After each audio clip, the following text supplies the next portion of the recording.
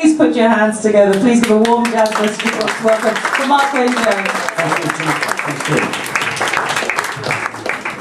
Hey, you know, if you're expecting entertainment of the calibre that we've been enjoying this evening, then uh, you should call for a taxi now, folks.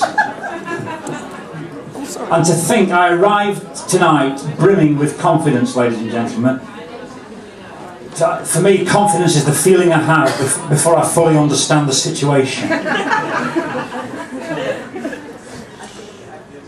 Do you know, last summer I had a, a lovely job because I, I was I was commissioned to spend time writing in four of London's central parks. And uh, the commission coincided with four new works of, of public art that had gone up in the parks at that time. And so, just from chance encounters and overheard conversations, I, I was writing in, in the parks there. I was writing about park life, common space, common ground, a place to let defences down.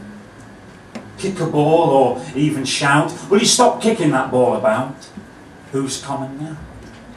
Common space, common ground. One man's waving his arms around, but very, very slowly, like a holy person wrestling with a dragon. But in treacle. or is it Bionic Man, the sequel? Fighting for the people, fighting for the place where we can all be equal. Listen to the silent howl. Who's common now? Common space, common ground. Something's landed upside down in a heap. Or at least that's how it looks. It's hard to tell if it fell the right way up, the, the wrong way round, or crashed and spilt its insides out across the common ground. It's hard to tell if it fell from outer space or off some corporate dinner plate. Was it built by another race? Now look, like I said, it's very hard to tell. But the plaque here says it's public art.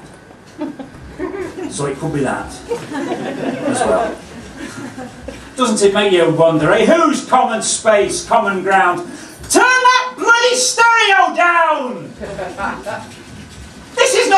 outdoor rave or party in the sticks. This is not the place to play Elton's greatest hits.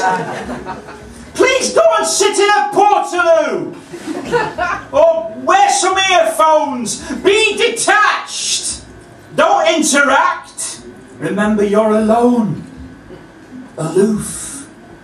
One of the silent iPod crowd who's common now.